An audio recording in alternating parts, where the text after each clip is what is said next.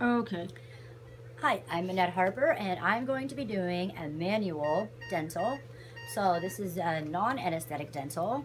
So what we did, I just lubed the patient's eyes. I'm going to put the washcloth over just to keep bacteria out of the eyes if it's flying Yeah. from the debris, and also for the light so they don't dry out and cause damage. This is a suction tube that some dentists don't use, um, some uh, clinics don't use, but we, they like to use it at this clinic, which is great.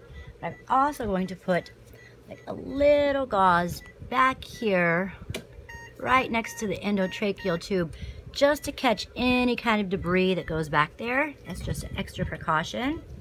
And before I start, I'm going to do a little spray. I'm just gonna rub it in my hands. It's just, it's just a little Chlorohex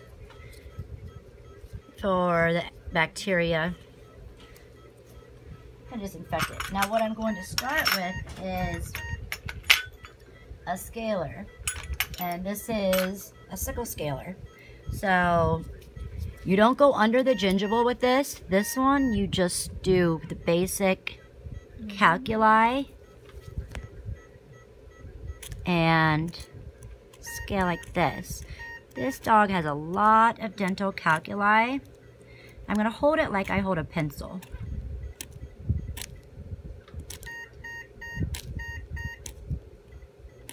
And you just want to break off all the calculi, tartar.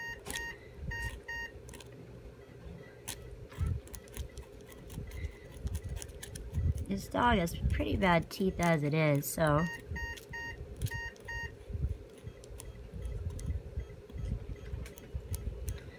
And then after I get the calculi off, what I'm going to do is use the curette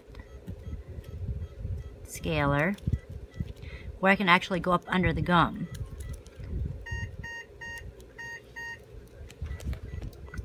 And this won't hurt under the gum or make it bleed because it's it's rounded. Um, it's the purple. It's the purple handled one. The purple handled one. What should be that purple handle? Right, mauve. It'll go under. It'll curve under. It's a beaver tail. It'll curve underneath, so you can get under there. Oh, God, this one is the curette. So this one will go right underneath the gingival sulcus. So that's where a lot of the bacteria lies.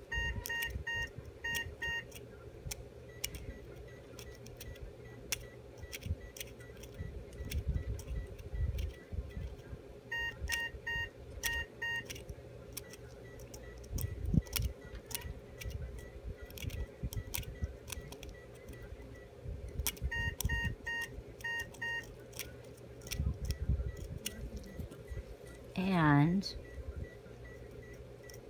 after I'm finished doing the curette, manual scaling is a lot more tedious and ultrasonic scaling is much easier. So after the curette, which I got way up underneath the gingival sulcus, I am going to use my probe